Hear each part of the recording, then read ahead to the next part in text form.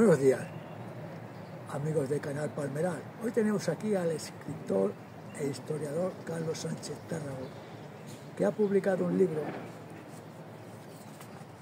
La cantinera de Montarruy. Y yo le he pedido que nos explique un poco de qué va este tema, de cuándo pasó, qué es lo que ocurrió, porque es un tema bonito, pero yo no tengo tampoco mucha idea. Bueno, Carlos, aquí tienes unas láminas que ya he preparado.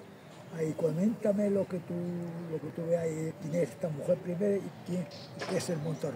Bueno, voy a declarar un poco la historia de, este libro, que es el, quinto, es mi quinta publicación, es un ensayo sobre una persona, la cantinera eh, de Monte Arruy, que eh, ocupó eh, dicha posición cuando el famoso asedio que tuvo lugar entre el 29 de julio y el 9 de agosto de 1921, donde se refugiaron las tropas que habían, se habían retirado desde Anual, donde sufrieron esa terrible derrota del ejército, del ejército español. Bueno, eh, es la primera biografía que se hace sobre una cantinera y fue por un encuentro casual. Yo había publicado ya eh, anteriormente un libro sobre Montearri, eh, titulado 12 días de, asedio, y lógicamente en la investigación de, en la investigación de, ese libro pues me encontré la figura de María Gómez de la que se sabía y se había escrito y se había escrito eh, muy poco.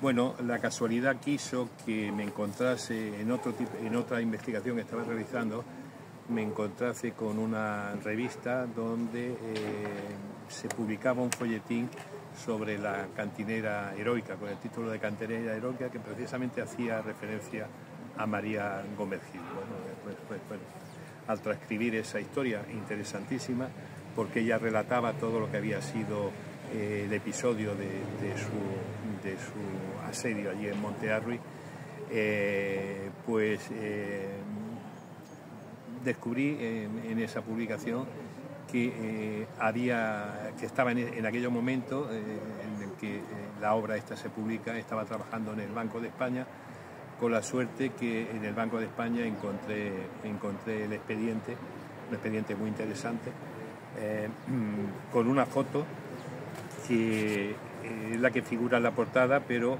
por, eh, por un magnífico dibujo hecho por, por Ramón Palmerar, el autor de, esta entrevista, al que le agradezco porque se haya brindado a, a cederme el dibujo para que figure en la portada y también en el interior, en el interior de,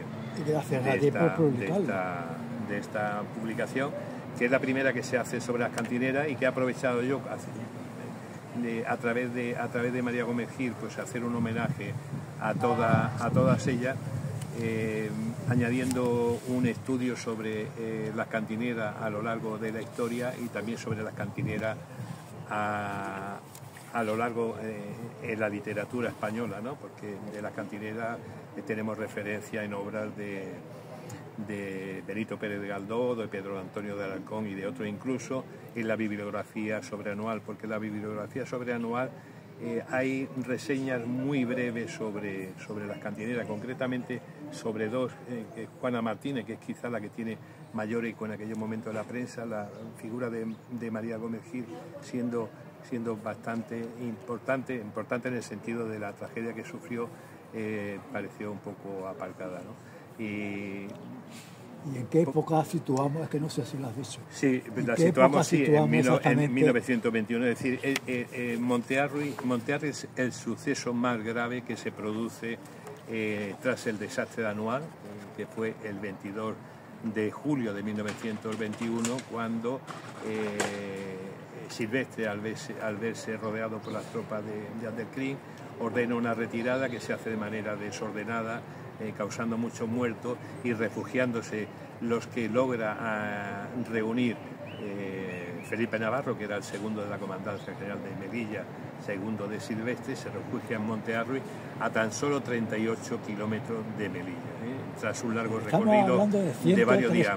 De hace 103 años. Hace 103 años, pero eh, un hecho que eh, ha condicionado la política española durante todo ese largo periodo y la sigue condicionando. Es decir, eh, anual es un, es un suceso que marca la política española, de hecho va a ser consecuencia de ello, va a ser la llegada de la, de la dictadura de Primo de Rivera y más tarde la caída de la monarquía, incluso algunos pues le añade cierta influencia en lo que fue la guerra civil, ya que... y la eh, República, la Segunda República. Sí, por supuesto, la Segunda República eh, y, que trajo consigo la caída la caída de la monarquía, efectivamente, con la llegada de la Segunda República.